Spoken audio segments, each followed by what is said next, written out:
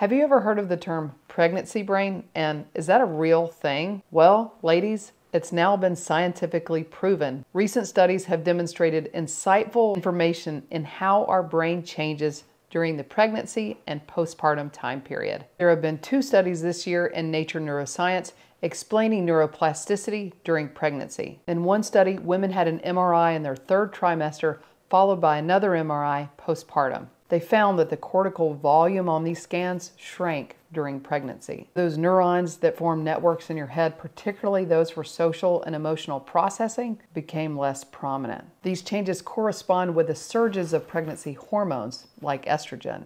To take it one step further, one neuroscientist actually MRI'd her brain during the entire gestational process. That's right, for science, she had 26 MRIs of her brain, starting at three weeks preconception to two years postpartum. I'm just saying that's a woman dedicated to science, and I am here for it. The results of this study added a lot more detail to what we thought we knew. They analyzed over 400 parts of the brain. By the ninth week of pregnancy, over 80% of those regions experience decreased gray matter and cortical thickness, with those areas shrinking about 4% on average. Now, what's interesting is those changes were predominantly in the areas of the brain that are instrumental in perceiving other people's feelings and perspectives. That gray matter volume loss persisted at two years postpartum. This means that we're finally starting to scratch the surface of the science as to how pregnancy can forever change a woman's brain. And that explains what many of us already knew.